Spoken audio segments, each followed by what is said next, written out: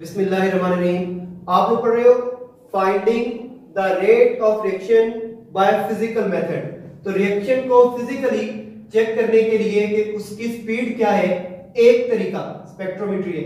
Spectrometry is if one of reactant or product absorbs ultraviolet IR और visible light तो आप ऐसे समझिए कि अगर आप दो रिएक्शन लेते हो, दो रिएक्शंस एक रिएक्शन में पहले आपने जब उसके ऊपर लाइट यूवी या आईआर या कोई भी लाइट फॉल कराई फॉर एग्जांपल वो 100 नैनोमीटर की लाइट एब्जॉर्ब करते हैं। दूसरा भी 100 नैनोमीटर की लाइट एब्जॉर्ब करता है।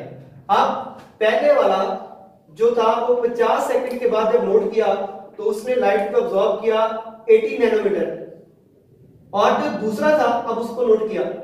तो उसने 50 सेकंड के बाद लाइट अब्सॉर्ब की 90 नैनोमीटर इसका मतलब कि इसके अंदर चेंज ज़्यादा आई है।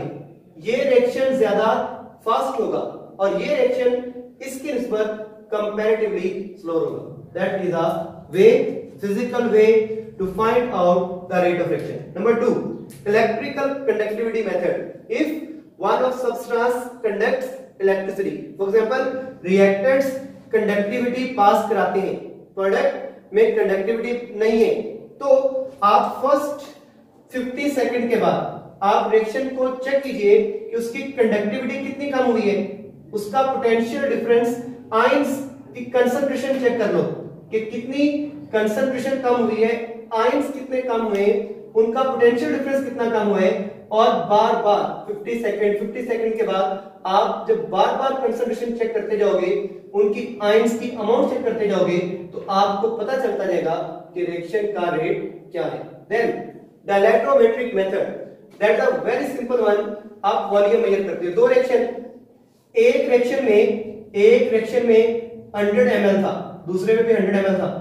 और 50 सेकंड के बाद इसमें 70 ml रह गए और फिर 50 सेकंड के बाद इसमें 50 एम रह गए। फिर 50 सेकंड के बाद इसमें 40 एम रह गए, जबकि इधर। जब आपने 50 सेकंड के बाद चेक किया तो 50 एम रह गए।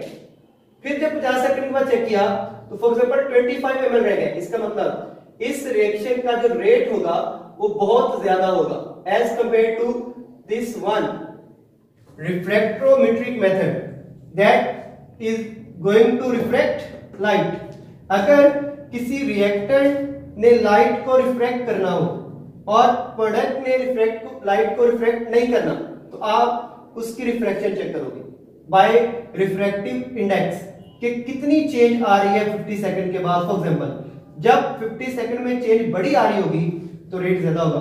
और with the best of time you will see कि वो जो चेंज आ रही थी, वो कम होती जाएगी। दैट मीन रेट कम होता जाएगा। And the last one is optical rotation method it measures angle of plane polarised light by polarimeter अगर किसी रिएक्टेंट्स में ऑप्टिकल uh, एक्टिविटी है ऑप्टिकल एक्टिविटी होती है जब वो लाइट को रोटेट करें।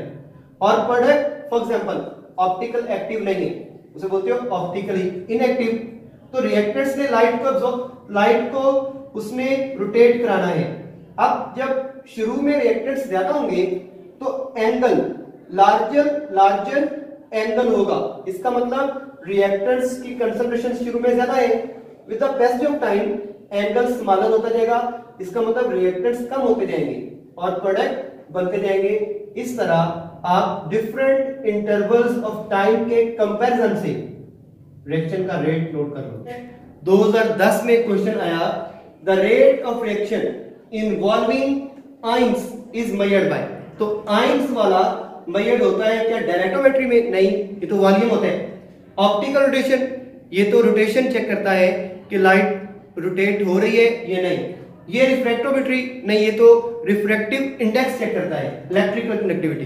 क्वाइट राइट ये होता है जो आयंस को चेक करता है।